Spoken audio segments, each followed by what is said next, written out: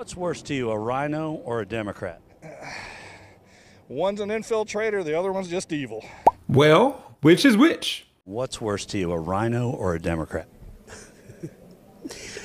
A Democrat? Do you know what a rhino is? Yes, sir. A rhinoceros? Well, no. A- So Donald Trump talks about rhinos, R I N O, Republicans in name only. Do you think rhinos or Democrats are worse? Uh, I'd say definitely Democrats. Absolutely. What's worse to you, a rhino or a Democrat? Oh, a Democrat. Are you kidding me? that, um, Republicans in name only aren't that bad, but these Trumpers need something Democrats can't offer. Thoughts about the fact that you've never seen, uh, let's be real, the, the leader of the free world. I'm very excited and hopeful. It gives me hope and security and just stability. I like what you said. I mean, it's a very authentic answer because it's your, it's authentic in the sense of safety and hope. I mean, isn't that something that everybody needs right now? We all need it. We do. So why do you, why why are you being being emotional right Just now? have a lot of grandkids and a lot going on in schools and the community and the state. Hope, security, and stability. This emotional Trump supporter will go on to say, through tears, quote, pray, be strong, and support and be involved. We stand strong. Go Trump. How Donald would or could help the grandkids, their schools, and community that she also mentioned, I don't know.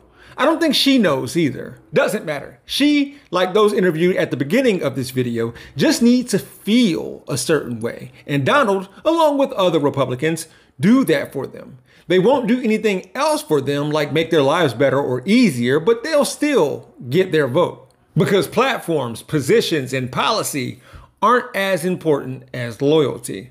Going back to this rhino take, once upon a time, there were liberal Republicans and conservative Democrats. I now question if they were seen as free thinkers. Anyways, look, I get it. Someone not going along with the script is seen as traitorous. Dems do it with Manchin and Sinema. Those who pretend to be moderates or centrists like that's even still a thing.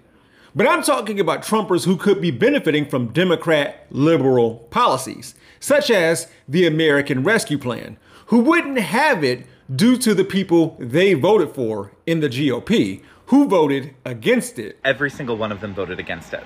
Every single one. Texas Senator John Cornyn is now touting the $3.3 billion in federal funds to boost broadband, which is the bill that Democrats and Biden passed. He voted against it. Multiple times he was on Fox News railing against this bill. Same thing with Tommy Tuberville. Great to see Alabama receive crucial funds to boost ongoing broadband efforts. You voted against it as well. You railed against it. You called us socialist. You called us communist. That was you, Tommy. But here you are taking advantage of it, and I quote, Your office was called and you said that Alabama was owed this money. How? Loyal to a fault. Michael Shure and David Shuster are coming after you. What you going to do when they ask a simple question? Don't be like this man. Watch that video in order to prepare yourself. Or you could be like me and tell them, my architect knows Japanese.